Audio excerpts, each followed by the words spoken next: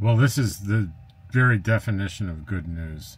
A new BMJ report, and BMJ is a large European conglomerate that does um, scientific and medical research studies, has found that the risk of dying within five years of a diagnosis of breast cancer is now 5%, down from 14% in the 1990s. Um, the study involved more than a half a million patients with early invasive breast cancer has found that most women the prognosis was hugely improved and became long-term cancer survivors.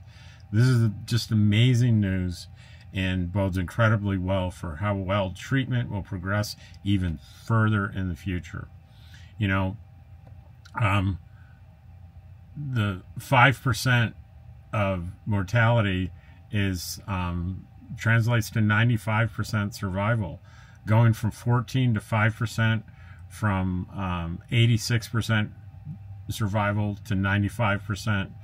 Boy, is that going in the right direction. And someday it'll be zero.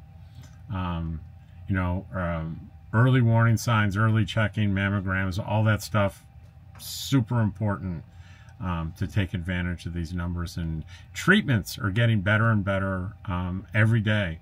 So that that's pretty exciting news. Um, and I, uh, my brother lost um, his wife and my nephew's mother to breast cancer, um, and uh, so this one hits hits close to home. Take care, and I'll see you tomorrow.